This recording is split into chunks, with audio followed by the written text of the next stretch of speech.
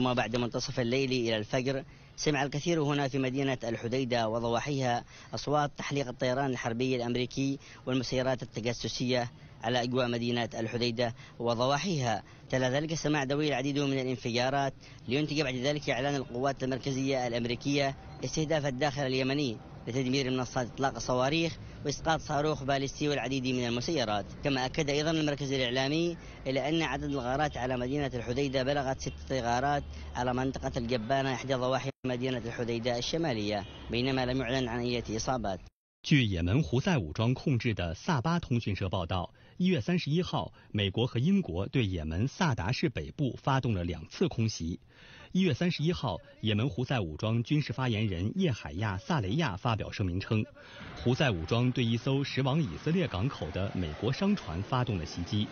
胡塞武装发射的导弹击中了该船。英国海上安保公司安布里公司同一天报告说，一艘船只在曼德海峡附近也门亚丁的西南方向遭到导弹袭击。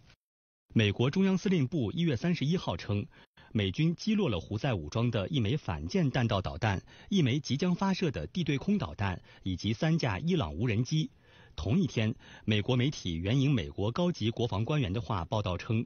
美国使用 F 十八战斗机对也门西部准备发射的约十架无人机进行了打击。一月三十一号，俄罗斯常驻联合国代表聂边贾在联合国安理会会议上表示，美国和英国在红海的行动使国际社会想起了北约国家对阿富汗、伊拉克、利比亚和叙利亚的野蛮轰炸。